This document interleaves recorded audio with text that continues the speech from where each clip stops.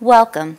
In this video, we will discuss the Set NL command and when it is required in STAAD Pro.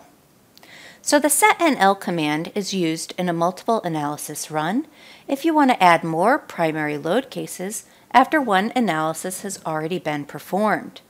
In that scenario, the Set NL command would instruct STAAD Pro to set aside additional memory space for information to be added later. Now before we take a look at our model in STAAD Pro, let's go ahead and perform analysis so we can see what a warning might look like if you accidentally omitted this command. So up in the Analysis and Design tab in the ribbon toolbar, let's go ahead and click on the Run Analysis icon.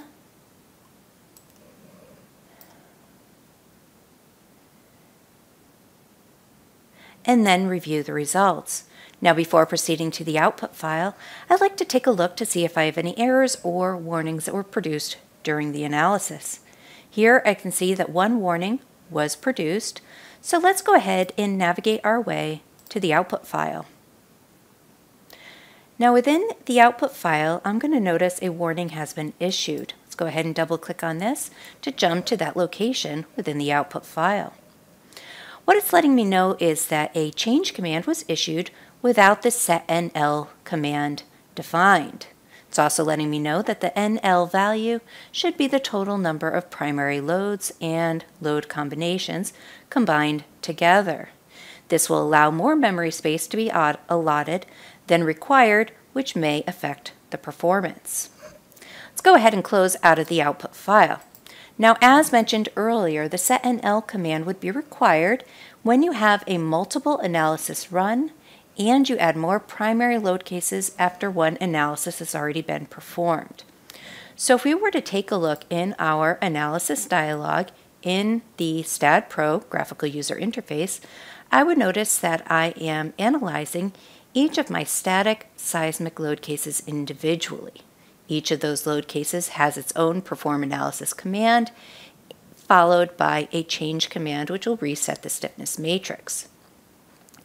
In addition to that, after a change command, I am introducing additional load cases. You can see here I have my dead load case, my live load case, along with all of my repeat load cases, which are representing my load combinations for this model. In addition to that, the end of the input file also has my main analysis command. So in this scenario, the Set NL command would be required. To invoke that command, let's go to the Analysis and Design tab in the ribbon toolbar, select the Miscellaneous Commands icon, and we will find the Set NL command. Now we just need to set the maximum number of loads to be greater than or equal to the total number of load cases in the model. For this model, I'll go ahead and set that number equal to 30, and we will click OK. Do I want to delete the results file? Yes, because at this point I've changed the input file and I want to perform a new analysis. Now if you're looking for that Set NL command, that Set NL command will be inserted into your input file towards the beginning before all your model geometry is defined. Now at this point, let's go ahead and save our model again and reperform our analysis.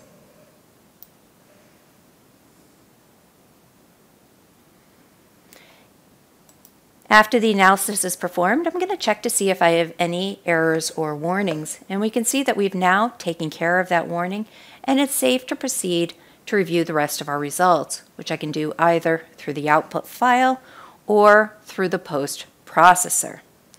This point, this concludes our process for adding the Set NL command into a STAAD Pro analytical model.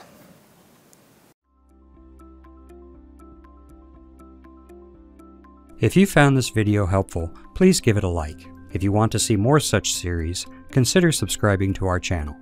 Thank you and see you next time.